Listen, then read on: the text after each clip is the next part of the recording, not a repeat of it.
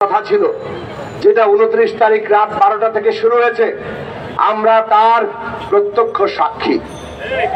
আমাদের আরও নেতৃবৃন্দ আছেন যারা নির্বাচনে অংশ নিয়েছেন, কিন্তু এই মঞ্চের ছয়জন শীর্ষ নেতার তিনজনই আমরা এই নির্বাচনে অংশ নেওয়ার প্রত্যক্ষ অভিজ্ঞতা আছে যারা বাসম আব্দুর রব তিনিও নির্বাচনে অংশ নিয়েছিলেন।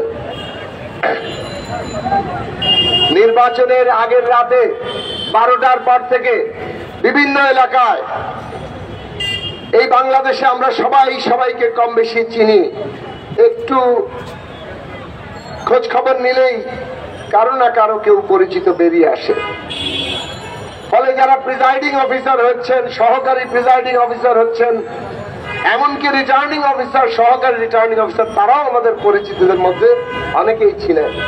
রাত বারোটার পর থেকে প্রিজাইডিং অফিসারদের ফোন আসা শুরু হলো। যে ওরা তো এসে ব্যালট পেপার চাচ্ছে। সেই ব্যালটে সিল মারবে, আগে ভাগে ভরে রাখবে। অনেকে কান্নাকাটি পর্যন্ত করেছেন যে কি করব আমরা? এই ছিল বাস্তবতা। অন্তত পক্ষে চল্লিশ ভাগ, কোথাও কোথাও পঞ্চাশ ভাগ, ষাট ভাগ ভোট আগেই সিল মেরে ওখানে ঢুকিয়ে রাখা হয়েছিল। সমস্ত মিডিয়ার উপরে কি ধরনের নিয়ন্ত্রণ আরোপ করা হয়েছে, আমরা জানি। নির্বাচনের পনেরো দিন আগ থেকে কীভাবে সমস্ত সোশ্যাল মিডিয়ার উপরে নিয়ন্ত্রণ কায়েম করা হয়েছিল, আমরা জানি। কারও কারও অ্যাকাউন্ট হ্যাক করে, যেমন আমাদের দলের অ্যাকাউন্ট হ্যাক করে, সেই দলের থেকে তারা আওয়ামী লীগের পক্ষে প্রচার শুরু করে দিল। এইগুলো তারা ঘটিয়েছে। আর রাষ্ট্রের আইন শৃঙ্খলা বাহিনী কীভাবে সারা বাংলাদেশে তারা এমন দাপট দিয়ে বিরোধী দলের উপরে, তাদের প্রার্থীদের উপরে, তাদের সমর্থকদের উপরে হামলে পড়েছিল যাতে মানুষ বুঝে গিয়েছে, পনেরো তারিখের এই নির্বাচনের পনেরো দিন আগেই যেই নির্বাচনে কেউ ভোট দিতে পারবে না। কিন্তু ভোট তো দেখাতে হবে। তাই আগের রাতেই ভোটে সিল মারা, এই যে ব্যালট পেপারে সিল মারা এবং সেগুলো ব্যালট বাক্সে ঢোকানোর কাজ হয়েছে। বিবিসির অল্প ফুটেজেই যেটা সারা বাংলাদেশের চিত্র ছিল, যে সকাল আটটার আগেই ওই ব্যালট বাক্স অর্ধেক ভর্তি সেটা নিয়ে তারা নির্বাচনের বুথের দিকে অগ্রসর হচ্ছে। এইভাবে তারা আগের রাতে ভোট ডাকাতি করেছে, তারপরে এক দুই ঘণ্টা কিছুটা মানুষের আসার জন্য, লোক দেখানোর জন্য, মিডিয়ার সামনে যাতে বড় লাইন দেখানো যায়, যে মানুষ ভোট দিয়েছে, সেইটার ব্যবস্থা তারা করল। আমরা দেখলাম এগারোটা বারোটার পর থেকে আবার খবর আসতে থাকল যে ভোট কেন্দ্র থেকে সবাইকে বের করে দেওয়া হয়েছে। কারও কোনো পোলিং এজেন্ট প্রথমে ঢুকতেই দেয় নাই অনেককে। কোন কোন লোককে যদি ঢুকতে দেওয়া হয়ে থাকে, এগারোটা বারোটার মধ্যেই সবাইকে পোলিং কেন্দ্র থেকে বের করে দেওয়া হয়েছে। এবং তারপরে আবারও সিল মারা হয়েছে। সিল মারতে মারতে এতই বেপরা, এতই মাতোয়ারা, অন্তত শখানেক কেন্দ্রের আমরা দেখেছি যে শতভাগের বেশি ভোট সিল মারা হয়ে গেছে। এইগুলোর খবর সংবাদ মাধ্যমে এসেছে। কাজে এইরকম একটি ভোট ডাকাতি করে আওয়ামী লীগ সরকার ক্ষমতায় আছে। তারপর বলে ওনারা নাকি সাংবিধানিক সরকার। ওনারা নাকি জনগণের ভোটের সরকার। ওনারা নাকি গণতান্ত্রিক সরকার। বাকিদের নাকি রাজনীতি করার অধিকার নাই। বাংলাদেশের মানুষ এই চোদ্দ সালের বিনা ভোটের নির্বাচন, আঠারো সালের মধ্যরাতের ভোট ডাকাতির নির্বাচন, আর সাত তারিখে যে দামি নির্বাচনের আয়োজন করেছেন, তার জন্য বাংলাদেশের মানুষ এই আওয়ামী লীগ রাজনৈতিক দলটিকে বিচারের কাজ করায় দাঁড় করাবে। বন্ধুরা আমার, রাজনীতির বিচার, মানুষের আদালতে বিচার, ভয়াবহ জিনিস। মানুষের আদালতে যে সমস্ত রাজনৈতিক দল বিচারের মুখোমুখি হয়েছে, তারা রাজনৈতিক দল হিসেবে নিশ্চিন্ন হয়ে গেছে। এই দেশের ইতিহাসে বহু দলের নাম করা যাবে।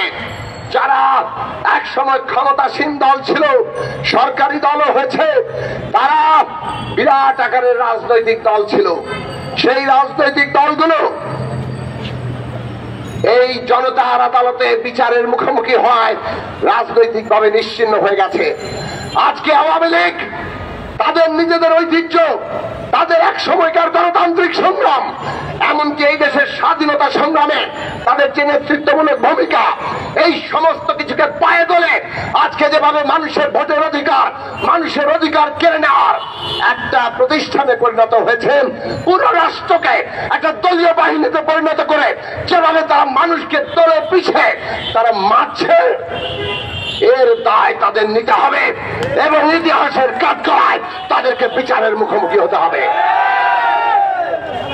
এই সরকার পুলিশ বাহিনীকে একটা দানবে পরিণত করেছে। এই পুলিশ বাহিনীর সব সদস্যরা কি খারাপ? না, তারা খারাপ না।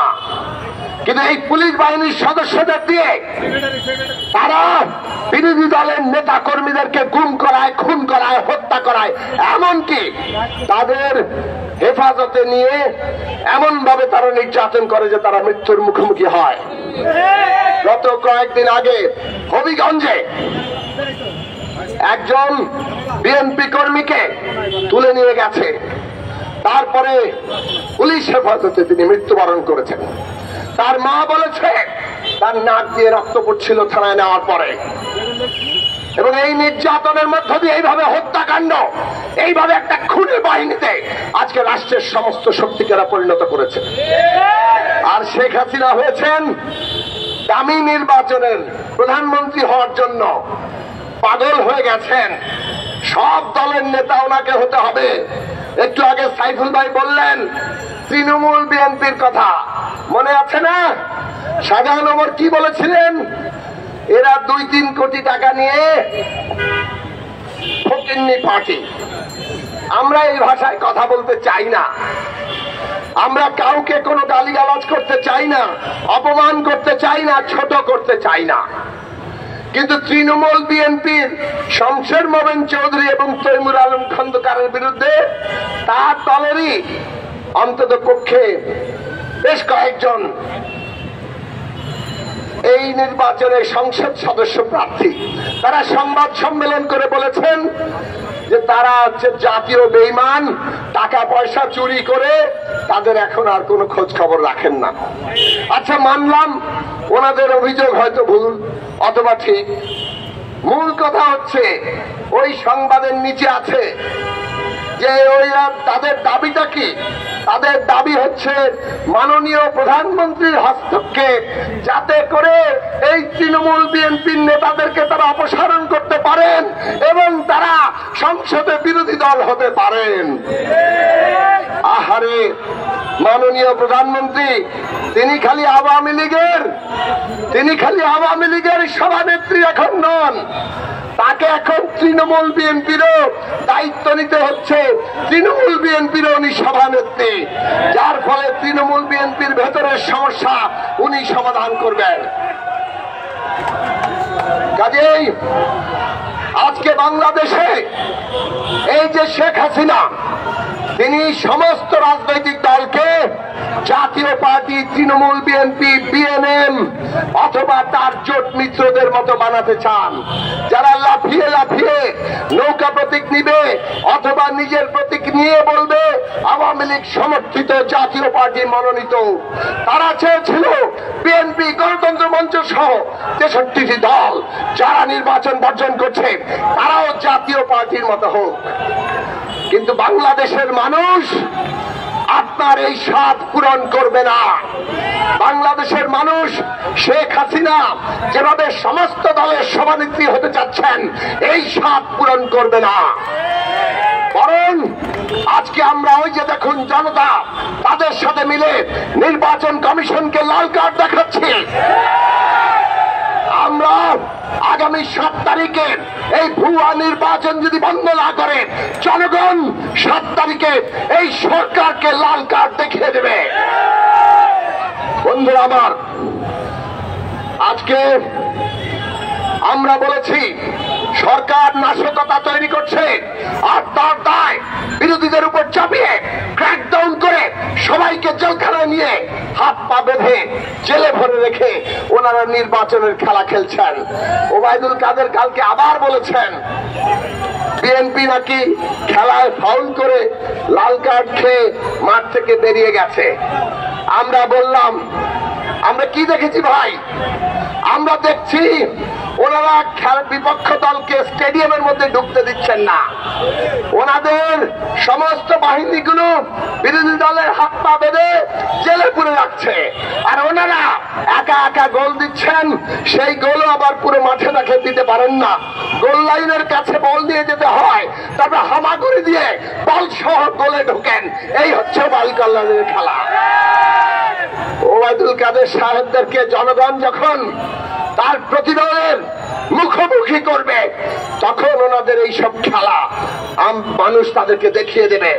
বন্ধুরা আমার আমরা পরিষ্কার করে বলি, আমরা এই সমস্ত নাশকতা সরকারি প্রযোজনায় নাশকতা করে রেলে আগুন দিয়ে আজকে মা শিশুকে পুড়িয়ে মেরে তারা বিরোধী দল দমন করতে চাইছে।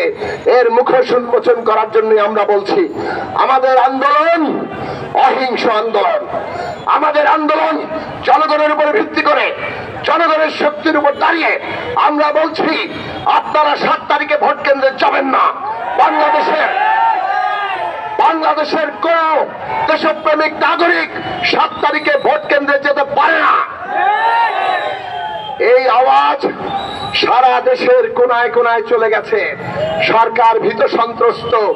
আর সে কারণেই এখন ভয় দেখিয়ে সারা বাংলাদেশে নিজের দলের কেবল লোক নয় বিরোধী দলের সমস্ত লোকজনকেও তারা ভয় দেখাচ্ছে। জোর করে তারা ভোট কেন্দ্রে আনতে চায়। তাদের এই ষড়যন্ত্র রুখে দিতে হবে। আপনি আপনার নাগরিক মর্যাদা রক্ষা করুন। ভোট কেন্দ্রে যাবেন না। এবং এই প্রতিরোধের মধ্য দিয়ে এই সরকারের বিদায় হবে। সেই লড়াই গড়ে তোলার আহ্বান জানিয়ে আমি আমার বক্তব্য শেষ করছি। সবাইকে সালাম, শুভেচ্ছা।